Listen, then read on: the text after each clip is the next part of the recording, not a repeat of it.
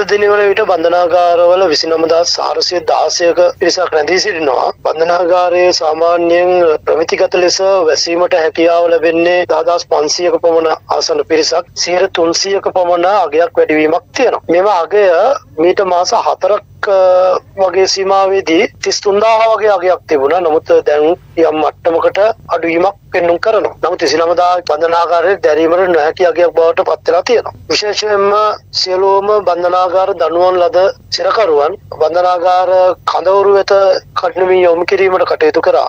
වැලිකර බන්ධනාගාරයට පැමිණෙන නවක දනුවම් ලද රැඳවියන් මාසේ දෙකේ වගේ රැඳවියන් පල්ලම් සේන කඳවුරු වෙත වෙනම රැඳවීම කරනු ලබුවා. ඉතින් රිමාන්ඩ් බන්ධනාගාරවල තමයි මේ තදබදේ තියෙන්නේ. රිමාන්ඩ් බන්ධනාගාරවල අනෙකුත් අවශ්‍යතා සඳහා පවතින ගොඩනැගිලි වලත් රිමාන්ඩ් සැකකරුවන් රැඳවීමට පියවර ගෙන තිබෙනවා. ඊට අමතරව පිළිසකර කළ හැකි ගොඩනැගිලි කඩනමින් පිළිසකර කිරීමටත් ඉදිරියේදී ගොඩනැගිලි කිහිපයක් සකස් කිරීමටත් කටයුතු සිදු කරා.